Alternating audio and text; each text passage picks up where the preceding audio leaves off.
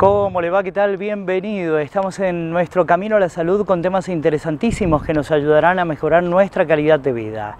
Soy Diego Hidalgo y así comenzamos.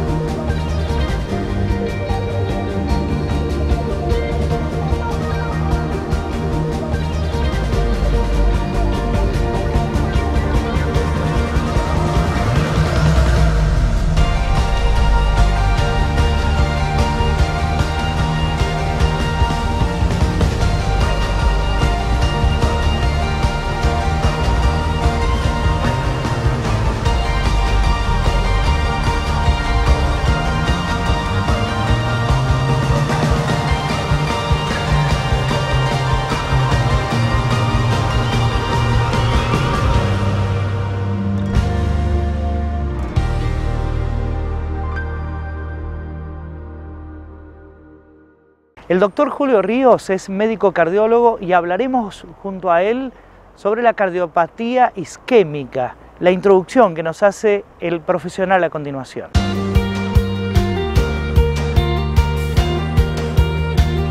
Todas las alteraciones desde el punto de vista coronario se han agrupado en una nueva denominación que son los síndromes coronarios agudos, englobando ellos los cuadros de Em, síndrome coronario agudo con o sin elevación del ST, eh, infarto agudo de miocardio, angina de pecho, eh, angina inestable con cambios en el electro, arritmias malignas, la muerte súbita. Todos esos cuadros están relacionados con la cardiopatía isquémica, es decir, con la enfermedad arterial coronaria. La definimos como un desbalance entre el flujo el aporte y las necesidades metabólicas de oxígeno que tiene el corazón.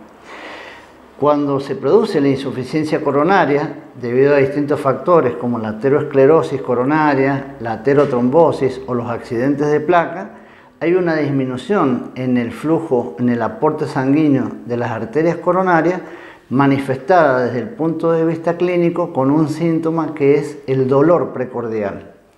El dolor precordial típico, un dolor en gasa, en la zona precordial izquierda, retroesternal, irradiado a cuello, irradiado a mandíbula, a brazo izquierdo, de corta duración, a veces desencadenado por emociones, por estrés, lo consideramos una angina de pecho.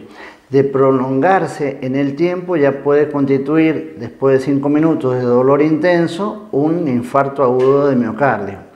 De ahí la importancia de la asistencia precoz, oportuna, para la atención adecuada y determinar las características de este síndrome.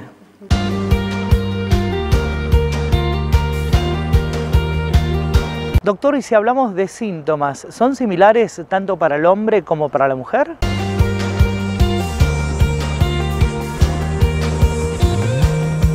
Antiguamente decíamos que la incidencia, la prevalencia de la enfermedad arterial coronaria era mayor en los hombres, sobre todo a partir de la cuarta, quinta década de la vida, manifestada fundamentalmente por la concurrencia de factores de riesgo como hipertensión arterial, edad mayor de 45 años, sexo masculino, el tabaquismo y las dislipidemias.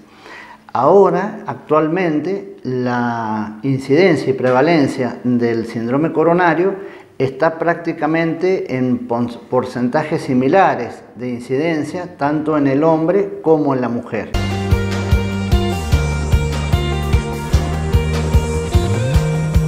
Y como siempre lo hacemos, el buscar y confirmar una patología. ¿Y cómo se hace a través del diagnóstico? las herramientas que utiliza el profesional para determinar cuál u otra patología. El diagnóstico se realiza haciendo el examen clínico, eh, recurriendo a los métodos complementarios de diagnóstico, el laboratorio de análisis clínico para determinación de enzimas cardíacas, troponinas, la CPK, la CKMB, electrocardiograma de 12 derivaciones, la ecografía, la cinecoronariografía, que es el cateterismo, para determinar la severidad del cuadro desde el punto de vista coronario y desde el punto de vista hemodinámico, si el paciente no está estable, recurrir al mm, diagnóstico no solamente, sino también al tratamiento, que es a través de eh, endovascularmente la angioplastía. Y el tratamiento dependerá netamente del cuadro que esté presentando el paciente.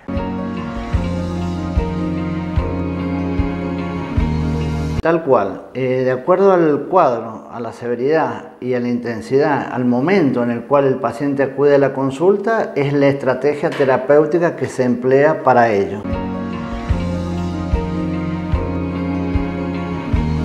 Siempre es importante, oportuno, el repasar sobre aquellos factores predisponentes como la diabetes, la hipertensión. Bueno, vamos a conocer un poco más en la voz del profesional. También conllevan a esta patología eh, los factores predisponentes principales son hipertensión arterial, el tabaquismo y las dilipidemias. Pero también hay otros factores la edad y el sexo, que son no modificables, la obesidad, la diabetes, las hiperuricemias, enfermedades endocrinas y actúa como desencadenante sobre todo el estrés. Los factores predisponentes tenemos que tratar mm, en todo mecanismo de tratamiento que hacemos o de prevención, evitar esos cuadros, porque muchas veces son el primer síntoma que tiene el paciente hipertenso puede ser un accidente cerebrovascular o un infarto agudo de miocardio. Hay un montón de pacientes que se desconocen. Aproximadamente la tercera parte de los pacientes que son hipertensos desconocen su diagnóstico y obviamente están sin el tratamiento adecuado. Muchos de ellos que están con tratamiento no están tratados en forma adecuada o no logran el objetivo de mantener cifras tensionales menores a 140-90 que son las recomendables. Y tener un tensiómetro en casa es fundamental y la visita periódica al profesional médico también.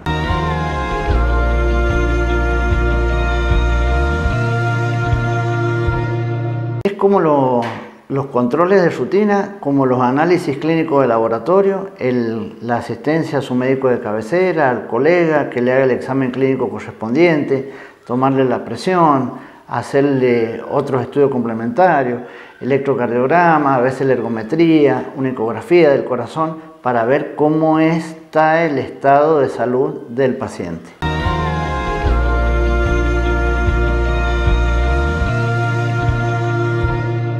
En el final del informe, junto al doctor Julio Ríos, hablemos de prevención. Tenemos que empezar a realizar lo más difícil, eh, amén de la terapéutica desde el punto de vista farmacológico. Hay también tratamiento para la enfermedad coronaria, que son endovasculares, dijimos la angioplastía coronaria, con o sin estén, la cirugía de revascularización miocárdica, que son los bypass aortocoronaria, inclusive hasta el trasplante como medidas de tratamiento desde el punto de vista más invasivo. Desde el punto de vista clínico hay toda una gama de fármacos antiisquémicos que utilizamos en la práctica clínica cotidiana. Desde el punto de vista de la prevención y del régimen higiénico-dietético, lo más importante es hacer hincapié en el cambio en el estilo de vida, hacer un énfasis especial en el cese del tabaquismo, dejar el sedentarismo, disminuir los kilos que tenemos de más, comenzar a, realizar una actividad física, una alimentación sana y saludable, disminuir las condiciones de estrés en la cual estamos todos sometidos, eh, realizar una actividad que sea tipo hobby, que nos distraiga, que nos entretenga. Podemos hacerlo, debemos hacerlo, concurrir a un nutricionista, ir al diabetólogo, consultar con nuestro clínico, con nuestro cardiólogo. Siempre el enfoque de estas enfermedades tiene, al ser multifactoriales, también el enfoque o el manejo también debe ser multidisciplinario. Todas las áreas deben intervenir. A veces modificar el carácter significa que vayamos al psicólogo, vayamos a controlarnos en forma adecuada, todas esas cosas que nos hacen mal para poder darle una respuesta adecuada al paciente y a su familia. Hacemos aquí la primera pausa en nuestro programa y al regreso estaremos hablando con una médica endocrinóloga especializada en diabetes sobre el estrés y la importancia de la realización de actividad física.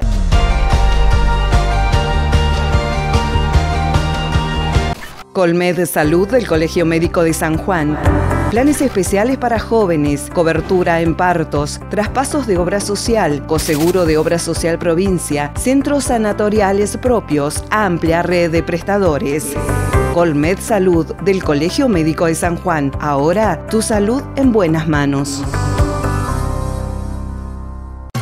Farmacia Zárate. Atención personalizada con farmacéuticos. Envíos a domicilio sin cargo. Alquiler y venta de productos de ortopedia y para internación. Farmacia Zárate. Farmacia de confianza. En calle Rivadavia, al lado del CIMAC.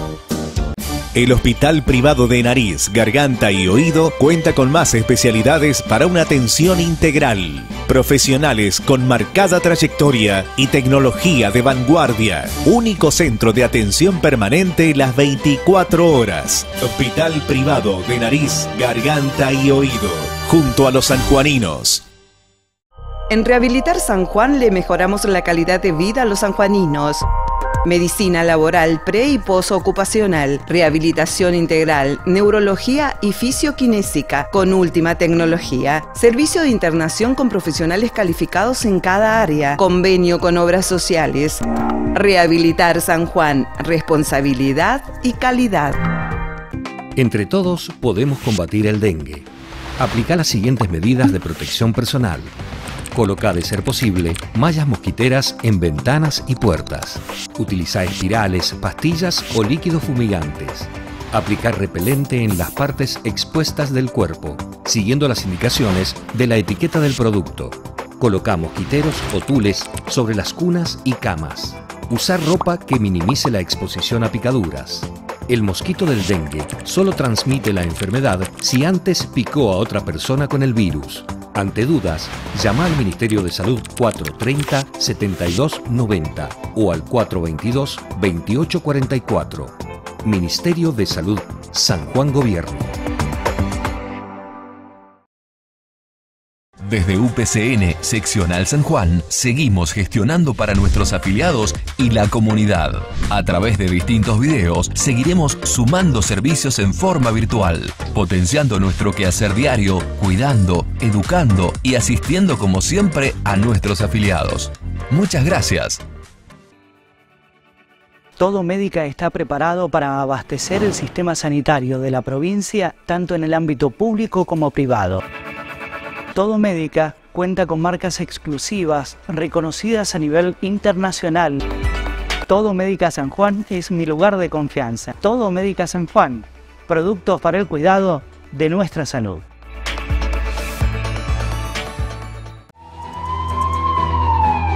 Caminar nos hace fuertes. Caminando juntos, aprendemos, nos cuidamos. Camino a la Salud. Todos los martes a las 19 y los sábados a las 14.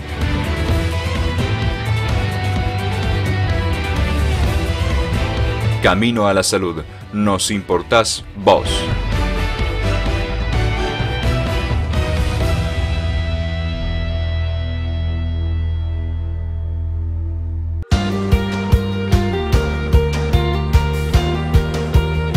La doctora Claudia Noriega es médica de familia y además especialista en salud sexual reproductiva. El tema elegido, atención a la población de jóvenes, mujeres, y es hablar sobre la menstruación, los dolores que puede generar y además qué hacer al respecto.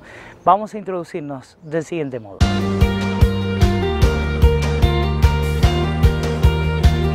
El sangrado o el desprendimiento del endometrio de, que se encuentra recubriendo la cavidad interna del útero. ¿Qué es esto? El, útero, que es un músculo que se encuentra en la parte central de lo que es eh, la zona del bajo viento del hipogastrio, está recubierto como, con una membrana. Esa membrana se llama endometrio. Ese endometrio está sujeto a cambios hormonales.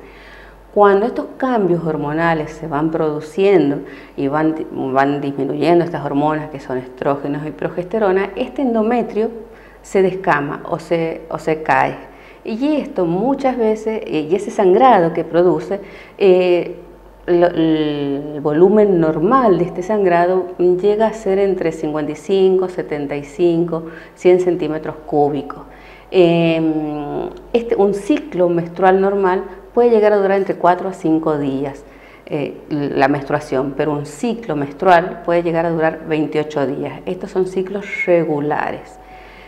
Generalmente estos ciclos regulares se dan en, mujeres, en muy pocas mujeres, se dan casi en el 15 o 20% de las mujeres. El otro porcentaje, la mayoría de las veces, tienen ciclos menstruales irregulares. ¿Qué significa esto? Que puede durar menos de 28 días estos ciclos o más de 35 días.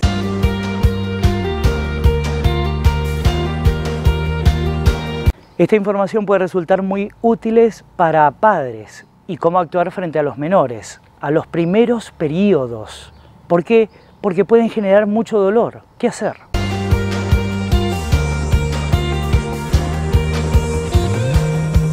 Al producirse esta descamación o este desprendimiento, el, útero lo que produce son contracciones, que es lo que hace que, el, útero se contrae y esto muchas veces es lo que genera la molestia o el dolor. Recordemos que el dolor es un eh, signo subjetivo, o sea que para no, todas las mujeres pueden catalogar este mismo, eh, el dolor de la misma manera. Eh, cuando se empieza a menstruar, y en la, primera menstruación, recordemos que esta, primera menstruación se llama menarca, o sea, la menarca en la niña, en, la adolescente, en la puber, eh, nos está indicando que el cuerpo de esa chica ya está apto para poder fertilizar, para que un espermatozoide pueda fertilizar ese óvulo, pero no está apto eh, emocionalmente ni físicamente esta chica adolescente.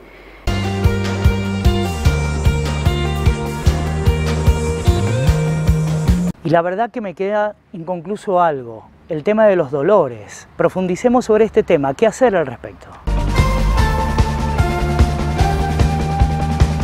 Primero es muy importante eh, hablar con la adolescente y contarle lo que va a pasar y que estos momentos de, dolor o de molestia pueden llegar a pasar, que puede ser en un ciclo, en una menstruación pase, en quizás en la otra no, que pueden pasar a lo mejor dos meses o tres meses con que no, se produzca dolor y después sí se produzca estos dolores o cólicos. Eh, y, sí tenemos medidas para poder eh, calmar estas molestias, que son medidas farmacológicas y medidas no farmacológicas.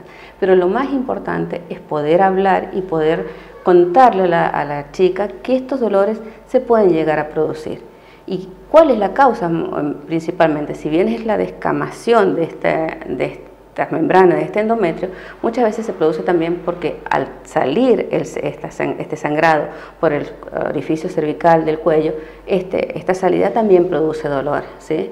Entonces, eh, tenemos, tenemos como hablar con el adolescente y qué poder darle para que no tenga estos dolores. Y si uno focaliza todo en los dolores, no es lo único. Pueden aparecer otros síntomas asociados. Veamos cuáles.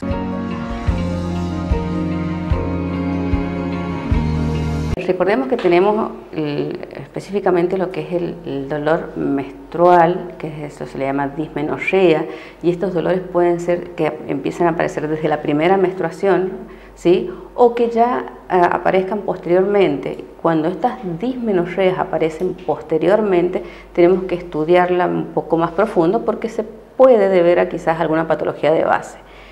Eh, ahora, tenemos que diferenciarlo de esto que se llama síndrome premenstrual.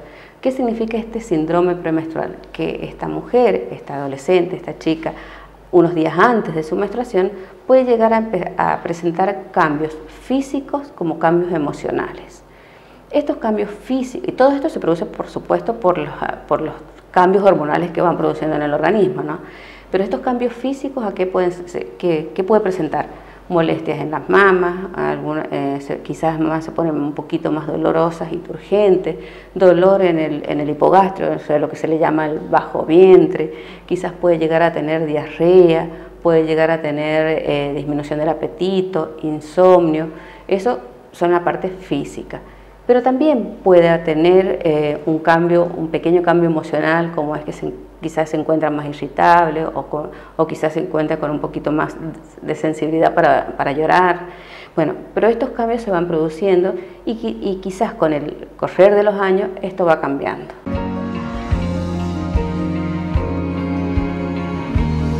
Doctora, vamos a ir más allá con este cuestionario y tiene que ver con la menstruación, pero esto con la utilización de pastillas anticonceptivas u otros medicamentos. Veamos qué pasa. Uno de los tratamientos para, estos para esta dismenorrea o síndrome premenstrual, eh, tenemos, como dije recién, teníamos tratamientos farmacológicos y no farmacológicos. Dentro de los tratamientos farmacológicos, medicamentos, tenemos analgésicos. Hay analgésicos de venta libre, ¿sí? como son, por ejemplo, el, ibuprofeno, el paracetamol, que esto lo puede tomar en ese momento, eh, o, y tenemos también los anticonceptivos. Muchas veces los anticonceptivos no solamente se indican como método anticonceptivo, sino también para poder tratar estos, estos dolores o este síndrome premenstrual.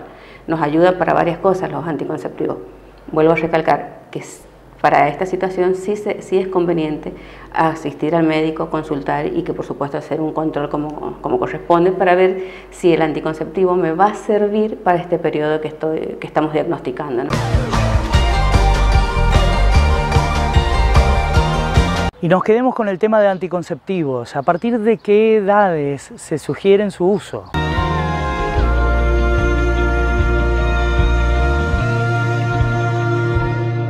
Anticonceptivos depende para qué los vamos a usar. Si nosotros vamos a usar los anticonceptivos como método anticonceptivo, debemos empezar a, tomarlo desde el momento que la persona eh, decida mantener relaciones y empezar a cuidarse para no, quedar, no tener un embarazo no planificado.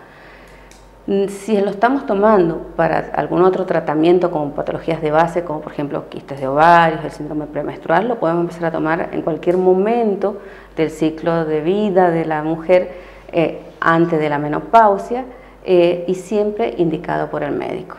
¿sí? Pero sí se puede tomar y siempre y cuando no haya contraindicaciones para la toma de anticonceptivos, ¿no? porque recordemos que es un medicamento y que tiene que tener sus indicaciones y por supuesto tiene también sus contraindicaciones.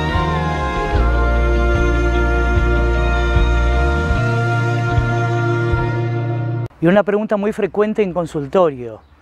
Una mujer transita el periodo, la menstruación, y tiene una situación u ocasión de relaciones sexuales. ¿Se puede combinar la menstruación con relaciones? Veamos.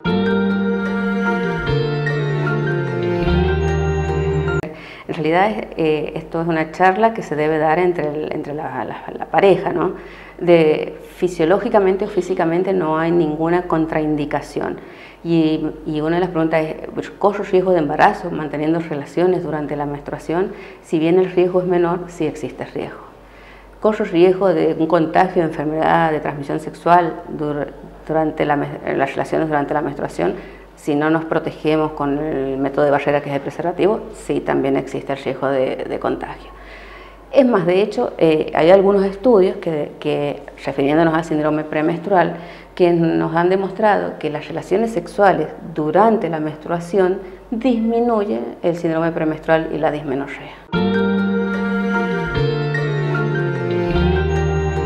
Supongamos una mujer en edad fértil y siempre se le generan dolores frente a la menstruación. Pero la madre de esta joven sufre de muchos dolores y la abuela también. ¿Tiene que ver algo genético en todo esto?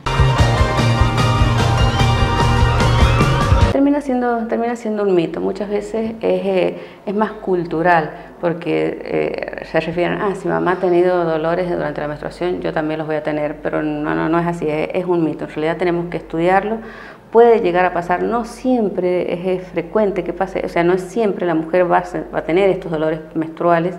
Y una cosa que me estaba olvidando es que una relación sexual durante estos dismenorreas o síndromes premenstruales, esta relación sexual, si va de la mano de, de, una excitación y un orgasmo, también se ha demostrado que disminuye esta dismenorrea o síndrome premenstrual. Y esto de que mi mamá tuvo, tuvo estas dismenorreas o estos dolores premenstruales y yo también lo voy a tener es, un mito.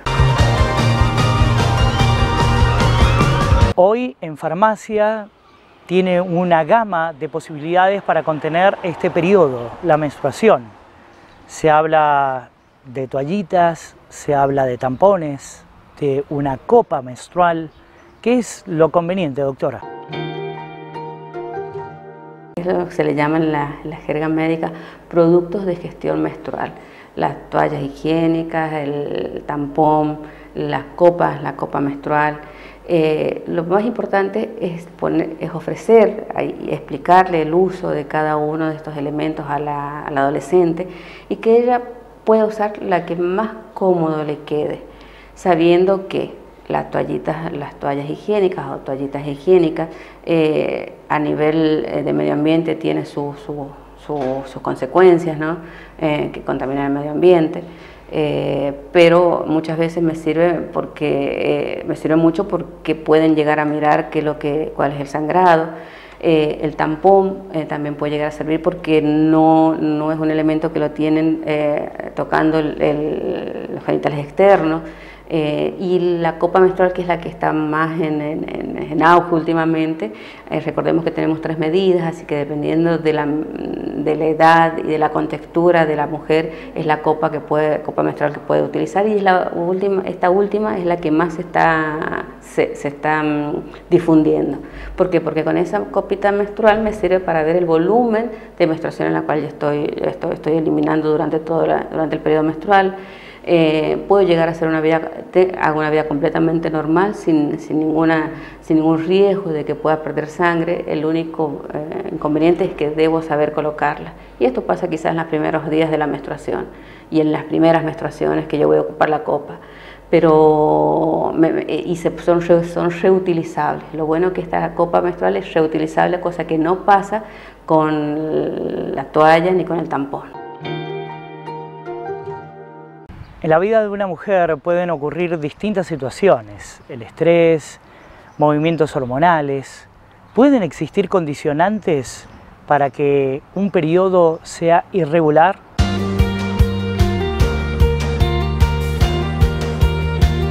Tenemos periodos en el ciclo de la vida en donde no vamos a menstruar, por, por ejemplo en un embarazo, en donde la menstruación se nos, se, nos, se nos termina durante esos nueve meses, inclusive durante un periodo de la lactancia también, eh, hay periodos durante la lactancia que podemos no estar menstruando.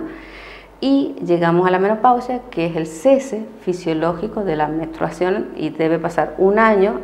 Eh, la, la menopausia puede llegar a partir de los 45, 50 años. 55 eh, años. A partir de ahí, si ya no viene la menstruación y ya ha pasado un año en la cual ya no menstruamos, podemos considerar que esa mujer ya ha entrado en menopausia. Eh, ¿Qué pasa durante todo este ciclo, durante todo este periodo fértil de la mujer? Eh, esta síndrome premenstrual o dismenorrea sí puede ir cambiando y de hecho muchas veces con, los años va disminuyendo. Y esto es una alerta. Si esta, esta dismenorrea o este síndrome premenstrual no lo hemos tenido durante los primeros años y aparece a los 25, 30 años y en forma muy acentuada, consultemos, porque eso no, es esperable, no es normal. Algo, algo está pasando. El estrés influye eh, de sobremanera, influye muchísimo y se ha demostrado que, mujeres que están con mucho estrés o sometidas a mucho estrés, el síndrome premenstrual es más frecuente. Llegamos a la menopausia, en la menopausia ya no menstruamos, que no significa, significa que no hay sangrado y que no hay eh, ovulación, por lo tanto las posibilidades de embarazo no existen. Pero sí existe el riesgo, vuelvo a repetir, de contagiar una enfermedad de transmisión sexual.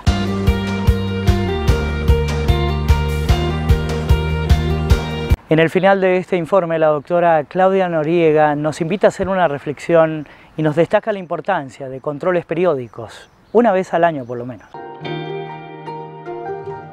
Debemos hacernos los controles, eh, eh, los controles clínicos, la mujer el control ginecológico y el varón el control urológico que corresponde porque a medida que vamos pasando, recordemos que a medida que vamos pasando nuestra edad, se nos van sumando algunas mm, enfermedades crónicas no transmisibles que, se nos, que si lo agregamos a nuestra vida sexual, quizás va en detrimento de nuestra salud sexual. Por lo tanto, eh, tenemos la medicina en la cual nos tiene que ayudar y nos va a ayudar, por eso mismo tenemos que hacer los controles para detectar estas patologías a tiempo y poder tratarlas. Hacemos la pausa en nuestro programa, no se vaya por favor.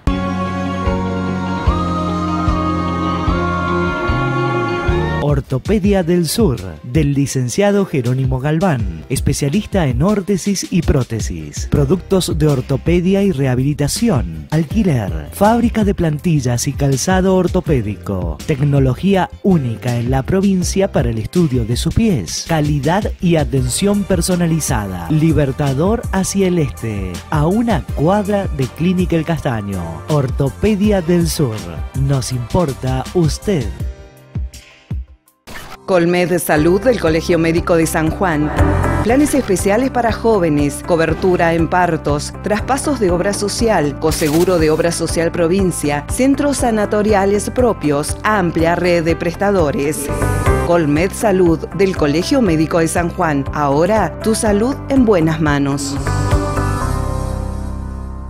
Este verano prevení las picaduras de escorpión. Incorpora las siguientes medidas de prevención en tu hogar. Es muy importante que mantengas la higiene de tu vivienda especialmente en rincones detrás de los muebles. Evita caminar descalzo durante la noche y usa guantes y botas para la limpieza de patios y baldíos. Revisa la ropa y el calzado antes de vestirte. Evita meter las manos en huecos de árboles y otros lugares que sirvan de refugio para los escorpiones. Tapa resumideros con tela metálica y desinfectalos periódicamente. Elimina cucarachas y grillos, alimento preferido de los alacranes. En caso de picadura, dirigite al hospital más cercano. Juntos podemos prevenir las picaduras de escorpión. San Juan Gobierno, Ministerio de Salud. Decir José Fasoli es decir carpintería de calidad en madera y ahora en aluminio también. Tecnología única en San Juan para lograr un mejor acabado en aberturas, muebles de cocina y placar. Contamos con pisos flotantes de madera y melamínicos de alto tránsito y residenciales. Asesoramiento y garantía. José Fasoli, carpintería de calidad. Tercera generación brindando confort a los sanjuaninos. Las aberturas de aluminio, de madera, muebles de cocina y placar del futuro complejo catamarán son de Josefa Soli, carpintería de calidad. En Óptica Neovisión contamos con la última moda en anteojos para sol y recetados. Asesoramiento en contactología con profesionales especializados. Servicio de óptica pediátrica especial. Óptica Neovisión al servicio de sus ojos.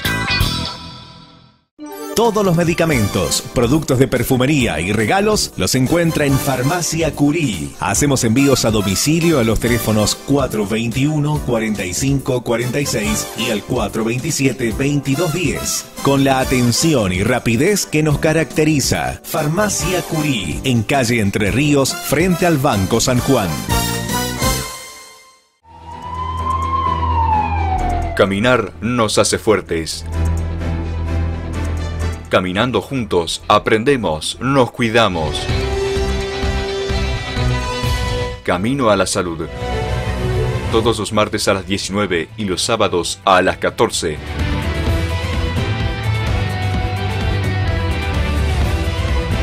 Camino a la salud. Nos importás vos.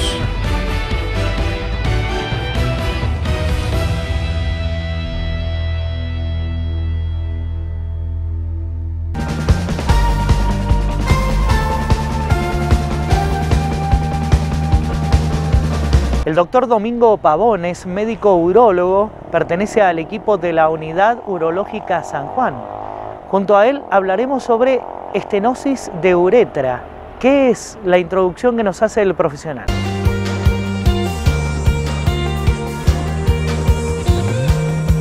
La estenosis de uretra es una patología eh, que se produce por una cicatrización en alguna porción de la uretra.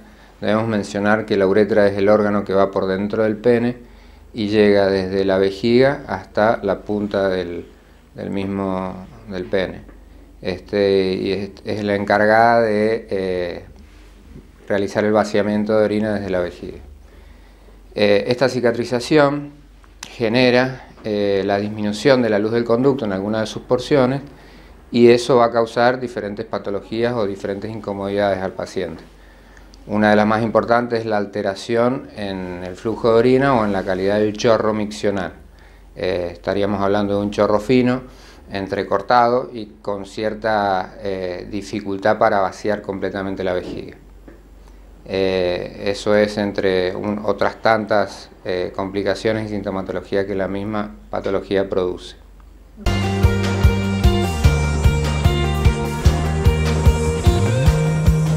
Y si hablamos de sintomatología, manifestación, molestia, ¿hay dolor frente a una estenosis con estas características?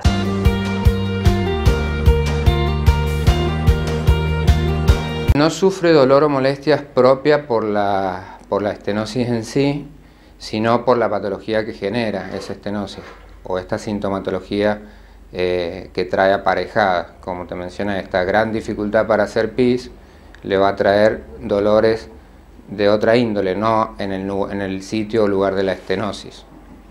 La estenosis puede estar en cualquier fragmento, ya sea en la, en la uretra peneana o en la uretra fija, que es la uretra que está dentro del periné o cercana a la próstata. Entonces no es una patología que genere molestias por el sitio de, de afección, sino por la, por la sintomatología agregada que trae.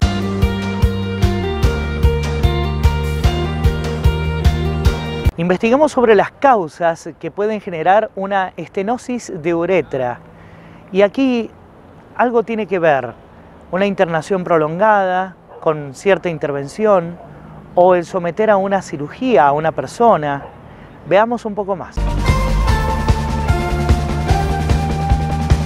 Una patología que tiene múltiples causas, pero generalmente lo que más vemos en, la práctica diaria es que todos los pacientes que tienen esta patología han sido instrumentados alguna vez en, su historia clínica. Eh, ¿Qué quiere decir instrumentado? Que en algún momento han estado internados en alguna terapia o en alguna sala de clínica médica y han necesitado este, eh, colocarle un catéter o una sonda uretral hacia, hasta la vejiga para vaciar la vejiga o para contabilizar cuánta orina hace al día. Esas instrumentaciones a veces suelen ser traumáticas y generan a posterior la cicatrización exagerada de ese sitio donde fue el traumatismo y por ende se genera posteriormente la estenosis. También puede ser por causas quirúrgicas, a veces los urólogos eh, generan por distintos tratamientos quirúrgicos eh, que como consecuencia de los mismos se produzcan estas estenosis. Uno de los más frecuentes es la resección endoscópica de próstata, en el cual se usa un aparato, eh, que ese aparato a veces genera estas lesiones. Eh, no se ve en el momento, se, se ve a diferido, pero hay muchas, muchas ocasiones que sucede este, y otras causas pueden ser eh, distintos accidentes, por ejemplo la caída, la más común también es la caída en el caño de una bicicleta de niños o de adultos o una fractura de pelvis con impactación de algunos restos óseos justamente en la uretra que está por detrás de la, de la pelvis o el hueso del pubis. Básicamente son las principales causas. Doctor, pero independientemente de las causas, ¿podríamos hablar de cierta edad en una persona que lo predispone más en el organismo a generar una estenosis? Veamos.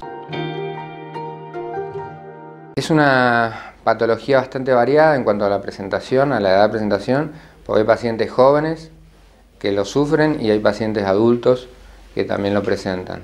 Es bastante indistinto. Si me decís eh, cuál es la edad más frecuente, bueno, te puedo decir que es la edad adulta, eh, entre los 50 y los 60 años.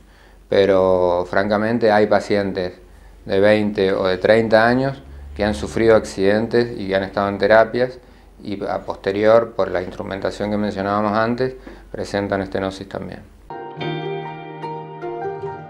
Y frente a toda patología siempre hay que confirmarla y para ello está el diagnóstico. Revisemos.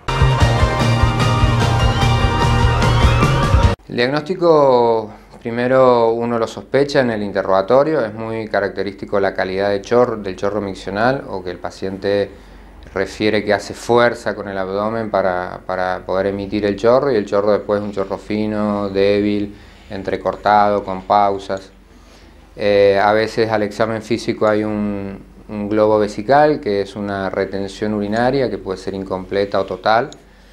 Eh, y después por medio de estudios complementarios, eh, fundamentalmente el estudio de, referencia es la cisturetrografía retrógrada y miccional, que es un estudio contrastado por el cual se coloca un medio de contraste a través de la uretra, se inyecta a través de la uretra y con una radiografía vamos viendo el sector de, la estenosis o del afinamiento de la luz del conducto para que se entienda un poco más. También hay un estudio que se llama uroflujometría, que es un estudio de medición del chorro miccional y ahí vemos lo que el paciente nos está mencionando previamente. Em, y otro estudio que también realizamos es la cistoscopía o uretroscopía, que sería mirar eh, con una cámara, con un endoscopio, la porción uretral enferma. Todos estos estudios por suerte son ambulatorios, son mínimamente invasivos, no, generan gran dolor y, son de rutina, digamos. Preste atención al profesional a continuación porque se referirá al tratamiento posible frente a este cuadro que se puede presentar en un paciente. Veamos. Es un tratamiento quirúrgico nosotros podríamos dividir eh, la patología uretral de acuerdo a la longitud de la enfermedad. Si tenemos una longitud de alrededor de 0,5 centímetros, eh, actualmente se está realizando un tratamiento endoscópico, eh, o sea, a través del pene. se realiza una sección, puede ser con una cuchilla fría, que sería como un bisturí endoscópico, o ah, también se está utilizando la energía láser, que es el láser Holmium, eh, para realizar la, sección de ese anillo de estenosis. Cuando las estenosis son mayores a, 0,5 centímetros, eh, se están realizando eh, una, plástica uretral, una, una neouretra se realiza francamente, en la cual se puede utilizar un tejido donante para realizar una, una, nueva uretra a partir de ese injerto en este caso. Nosotros usamos eh, el tejido del interior de la boca, podemos usar mejilla, la mucosa eh, yugal se llama, eh, mucosa lingual y también la mucosa labial. Este, todos estos tejidos funcionan como injertos, nosotros los tomamos ahí en el momento quirúrgico y los transponemos a la zona donde está la patología, generalmente el abordaje es por vía perineal, y ahí se, ahí se realiza la cirugía plástica. Eh, realizando la anastomosis, la unión de este injerto con la uretra dañada. Este, en algunas ocasiones se reseca la uretra y en otros se, utiliza esta ampliación de uretra que se, realiza por medio del injerto para lograr una luz uretral de buen calibre. Cuando, de acuerdo a las características del paciente, también se podría llegar a utilizar eh, colgajos de piel, que en este caso se toman de piel prepucial o de piel del pene. Estos colgajos están vascularizados, quiere decir que no serían injertos, son colgajos que traen su propia irrigación propia de la zona donde uno los toma. Eh, son cirugías muy complejas, eh, por suerte nuestro equipo las realiza, la Unión Urológica las está realizando, así es que sería muy importante cualquier, cualquier paciente que dude si tiene posibilidades de tener esta patología, por las características clínicas que hemos mencionado, que se acerque para, tener una consulta. Un reposo absoluto para aquel paciente que se somete a una cirugía con estas características, el posoperatorio inmediatamente.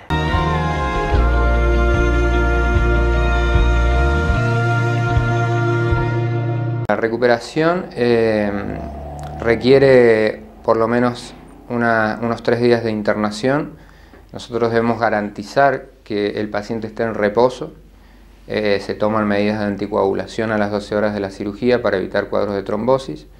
El reposo estricto es porque eh, en las primeras 24 horas, cuando nosotros colocamos un injerto, ese injerto no tiene irrigación y necesitamos que el mismo tejido, el, el propio paciente empiece a generar neovasos de formación, que son vasitos nuevos que se empiezan a desarrollar y son como una especie de raíces que penetran en el injerto. De esa forma el injerto, en el lugar donde fue colocado, se eh, toma como propio y empieza a tener vascularización. Esto sería como para que el injerto no sea rechazado y eh, pueda lograr constituirse en ese, en ese sector como propio del paciente. Así es que es muy importante entre 48 y 72 horas de reposo en cama, en la institución, eh, y a posterior, posteriormente se puede externar sin ningún problema, teniendo una vida tranquila por lo, por lo menos 15 a 20 días más.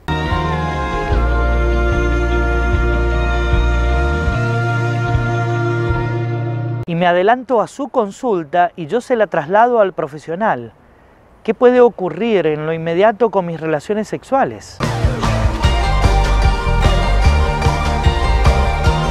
Obviamente eh, la relación sexual se recupera, puede haber alguna disfunción eréctil propia del mismo trauma quirúrgico, pero generalmente es eh, relativo y, se supera. Eh, no puede tener relaciones por lo menos 20, 21 a 25 días posterior a la cirugía. Acá estamos hablando generalmente de unos entre 14 y 21 días de cateterismo uretral, o sea que por ese tiempo no va a poder tener relaciones obviamente porque sale una sonda a través de la uretra eh, y también se deja una sonda de descarga a través de la, del bajo vientre que sale directamente desde la vejiga hacia afuera. Eh, son pormenores que se explican después en el procedimiento, en en el preoperatorio, digamos. Pero fundamentalmente son 21 días sin relaciones sexuales, después sin ningún problema.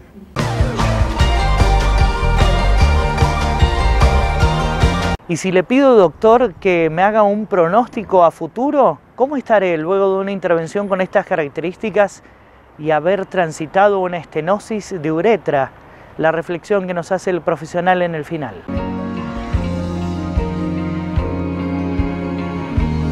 Bueno, nosotros eh, cuando recibimos al paciente en la consulta generalmente viene con una calidad de vida, de vida mala, con un con un mal dormir porque se levanta mucho a la noche, a hacer pis, a tratar de vaciar su vejiga. Eh, es un paciente que viene bastante afligido y cansado por esta situación y muchos pacientes generalmente ya vienen con una sonda eh, que sale a través de la panza que ya se llama cistostomía suprapúbica o talla vesical, puede ser un poco más, más fácil reconocerlo por, por el público, por la población en general. Eh, esa talla vesical se la colocaron en alguna guardia a modo de salvataje porque no pudieron colocarle la sonda por la uretra. Entonces es un paciente que ya viene bastante eh, afligido y con problemas.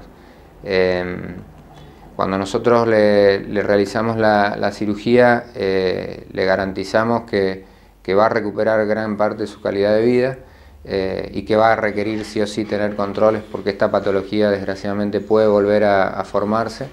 La uretra es un órgano muy delgado, muy fino y que tiene una vascularización muy pobre y podría volver a suceder. Entonces son pacientes que, los seguimos viendo muchos años hasta que la patología se resuelve. Es lo único que se puede hacer, así es que es fundamental eh, la consulta temprana y evitar las instrumentaciones traumáticas, que es lo que más daña la uretra.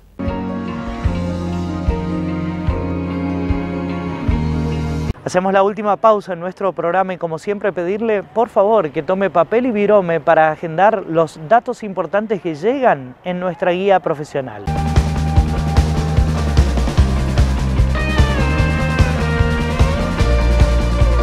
Doctor Daniel Matar, neumonólogo, especializado en trastornos del sueño. Turnos al teléfono 422-7656 y al 154 12 5242. ¿Necesitas recuperar energía, vitalidad, concentración, memoria, mejorar tu rendimiento sexual y físico? Ahora en San Juan hay un tratamiento médico innovador, efectivo y rápido. Pellets de testosterona, con resultados garantizados. Turnos al teléfono 264 50 57 862. Doctor Ignacio López Lima, cardiólogo universitario, especialista en ecocardiología y tomografía de corazón, diagnóstico, turnos para consultas en Innova Instituto de Cardiología, al teléfono 422-6610. Doctor Rubén Balmaceda, médico especialista en coloproctología, atención en Clínica Médica Córdoba, teléfono 432 23 332 y en Sanatorio Argentino, teléfono 430-3011. Doctor Rubén Balmaceda. Doctor Julio Ríos, cardiólogo clínico. Lo encuentra en el Instituto de Alergia, Asma e Inmunología, calle Mendoza, 830 Sur. Teléfono para turnos 421-3812.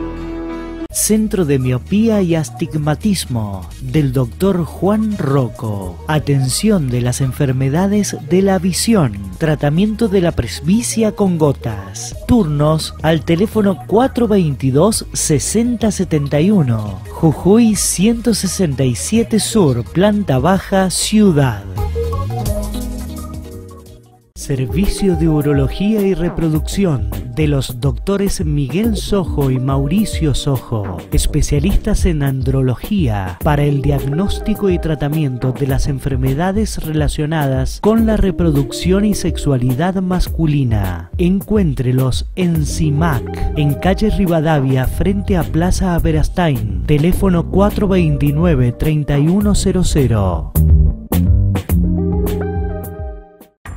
Doctor Enrique Echegaray, médico con especialidad en neurocirugía, lugar de atención, clínica Imo Quality, en calle 9 de julio 153 Este, teléfono para turnos 422-3392.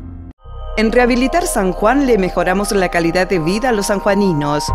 Medicina laboral pre y posocupacional, rehabilitación integral, neurología y fisioquinésica con última tecnología, servicio de internación con profesionales calificados en cada área, convenio con obras sociales. Rehabilitar San Juan, responsabilidad y calidad.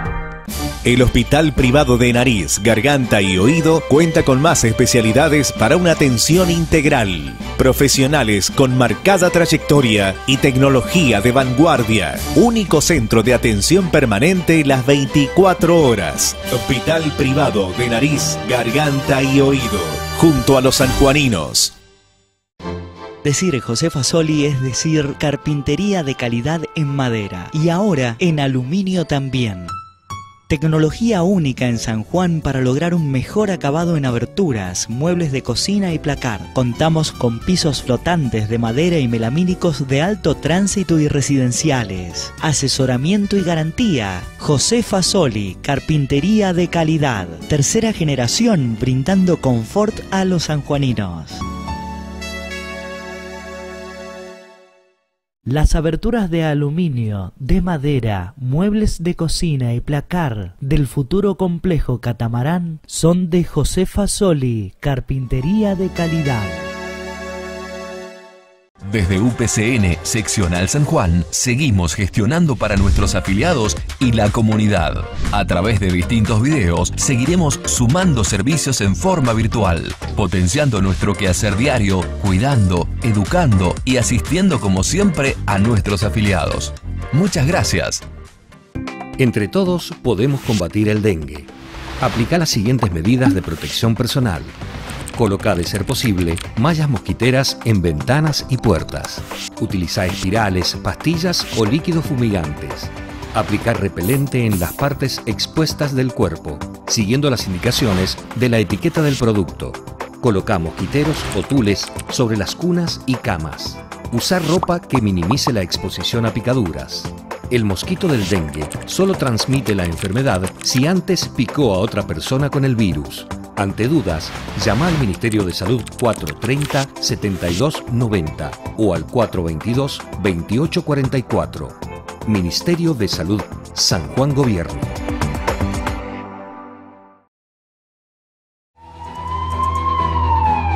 Caminar nos hace fuertes. Caminando juntos, aprendemos, nos cuidamos. Camino a la salud. Todos los martes a las 19 y los sábados a las 14.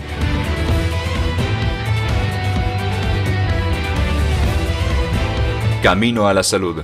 Nos importás vos.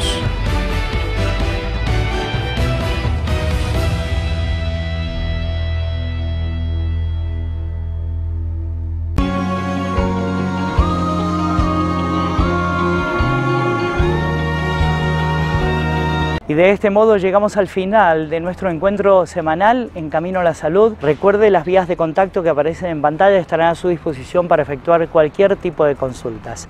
Y pedirle por favor hasta ese próximo encuentro que cuide muchísimo, pero muchísimo su salud. ¿Por qué? Porque nos interesa sobremanera que usted esté bien. Gracias por elegirnos, gracias por estar. Chao.